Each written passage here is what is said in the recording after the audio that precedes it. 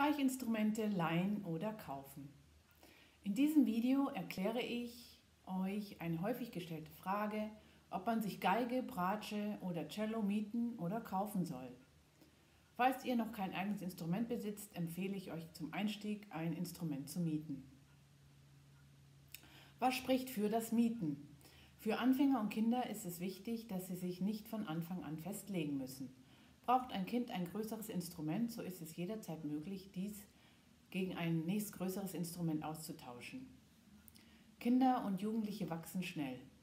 So circa alle 6 bis 18 Monate, abhängig von Armlänge und Handfläche, was eine Rolle spielt, muss das Instrument ausgetauscht werden. Das gilt natürlich für Geige, Bratsche und Cello.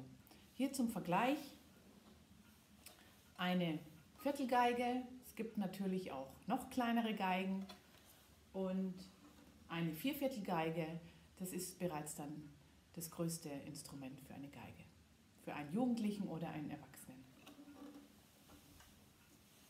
Am besten ist es, sich bei einem Geigenbauer eine Geige zu mieten, denn seine Instrumente werden regelmäßig gewartet und sind in gutem Zustand.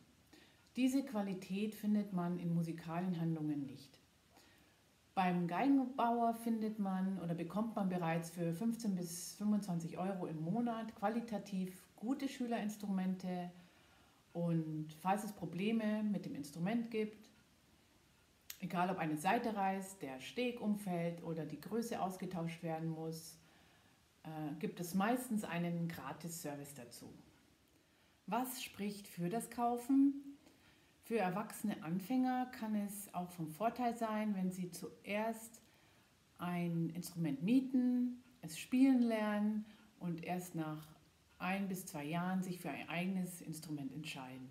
Nach dieser Zeit ist man als Geigen-, Bratschen- und Cellospieler dann in der Lage, das richtige Instrument für sich auszuwählen.